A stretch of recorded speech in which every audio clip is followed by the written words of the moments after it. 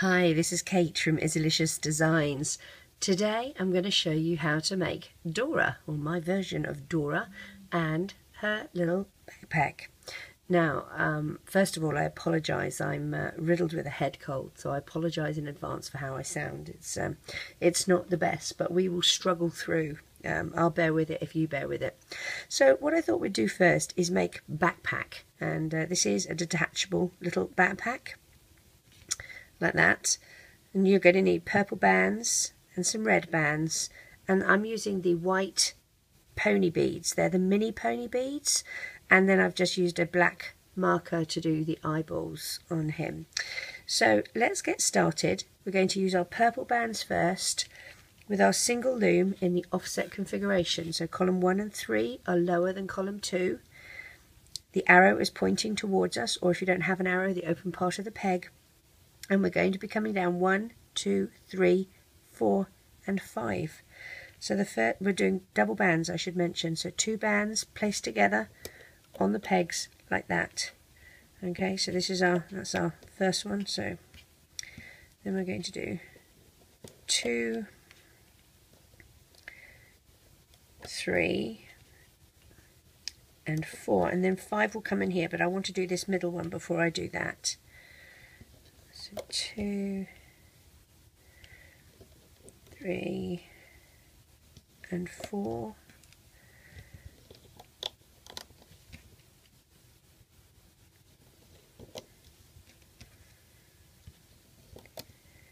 and we'll lay the purple bands down this middle column.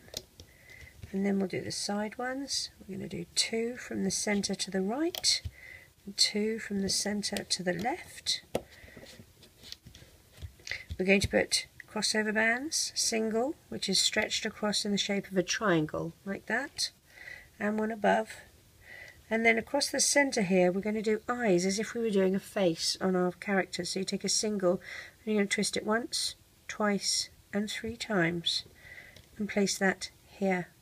Actually, I'm telling you fibs. We're doing it one above. It goes. The eyes go at the top. So let's swap those. That one's going to go across, and we'll go twist it once, twice, and three times. So we'll put that there because the mouth is going to go here. Then we're going to use um, a single purple, and I'm going to thread my white mini pony beads, seven millimeter by four millimeter onto a single band. Now if you don't have beads you can use white bands. When you take a single band and wrap it around your hook four times that's the equate that's the same it's, it equates to one bead okay. So uh, you would do two of them. You'd wrap a band four times around your hook and then you'd do another single band four times around your hook and you would slide them on just like I've done here. And we'll stretch them across these two pegs like so. And you're going to split it. And now you might need a metal threader. I have a tutorial on how you can make one um, from a twisty tie or you might need um, some floss. Dental floss works quite nicely as well. Or you if you have a needle threader that works well as well. Split your band in half like that and take the top part of the band up and over this peg and then this acts as a crossover band. All right? The next thing we're going to do is, is the mouth, but we're going to do that after, okay? So I know it looks a bit odd, but we, we will put the mouth on after. I just wanted to make sure you knew that we weren't going to forget about that. Take a single purple band and you're going to wrap it around your hook once and twice. And we're going to pop it on the end here as an end cap. Okay, now we're going to start by doing our looping up dig down past that end cap and you're grabbing the first two purple bands hold on to your end cap and loop up to the to the side at the diagonal and do the other side as well okay now what I've done here I've gone through this one spot here and we've got the first pair two three four and five all right so I have five pair in a single chain making up this. So how I've done that, I loop up the sides all the way to the top here, but I don't loop these ones. Alright, so we'll loop these all up. And you can loop the middle. the middle column. So there's one, two, three. And now what we're going to do is take two bands and push your hook. It's going to go here next to these, okay? So you're going to, and I'm sorry, we're doing single, single band and slide it here. The reason I've done a single band instead of a double band is the double band makes its it these straps so thick that her arms look very distorted when they're put through. So I've, I've just used single bands there. So slide your first one through here. Let me do that again to show you. Put your hook through here, okay, through all of those bands and just pull it back through and have both ends on your hook. That's our first one. We're going to do five. Here's number two. You're just doing a chain. Put the next one on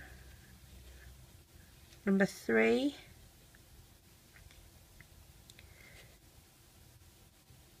Number four. You're not attaching it to anything you're just doing a chain. And number five. Okay so that's five right here. Now this pinch this you're going to take your hook out.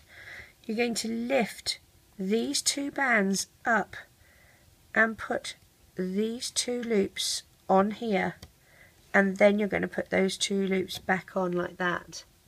And then you can loop this side in and that's attach that to there. Let's do the other side. So I'm turning my loom around. I'm going to grab one band and pull it through on there. And then we're going to do four more. So there's two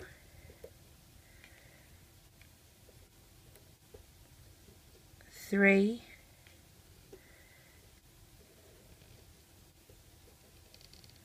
four and here's number five. And like I said we're going to lift these two that we've just looped up up place these on. It's always a bit odd when you're sort of working back to front. And then place those two back on top. The reason I place those back on top is so that it's sandwiched between. And it doesn't look so odd when you look at it here you still have the shape of the backpack instead of having these coming out. So then we'll loop this one in and then we'll loop this middle one up to the center again so it still has that continuity. You're going to have two purple bands. Poke them through, pull them back and up to the back side of this peg. Take the two closest to you up, over and off and pull tight into a slip knot. We'll take this off our loom. I use the back of a metal hook to help me, one without the cushioning on it.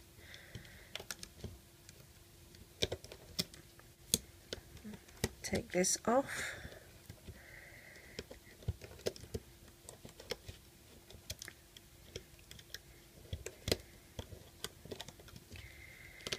and stretch him into shape a little bit. There's the straps here on either side. That's the little face. We're going to hide these tie-off bands. I'm just going to poke my hook through and draw them down to the back because we might actually use these to help us with our mouth. So pull those to the back so that they're not in the way of the of the front of his face. Now we have two red bands. You're going to pick one side here let's get rid of the cat here.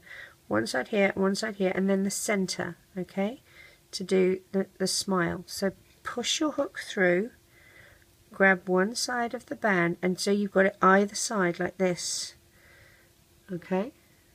And then you're going to poke your hook through the center here and drag the other side back like that. So you have both of these loops coming through like this alright? You're going to do the same on the other side. Go through. And you want to mirror image it on the other side. And then back through that same hole and pull the other one through like that. Now one of these should go through the other. You want to make sure that you, have both those loops on put one through the other and then grab this this loop up here. And again put one through the other and then we're going through this loop over here and we'll put one through the other so they're all looped in. It doesn't really matter how tight it is because you can still pull it forward like that. And then what we'll do, using these tie-off bands that we have, we'll pull these through like that. And then we're going to take just another single purple band. We'll have these two loops and we'll find a little spot somewhere here, one of these back bands here. And take that single band that we've just taken and tie a little slip knot with it like that. And we'll hide that under these bands that we have left at the back here. And I try and make it so that it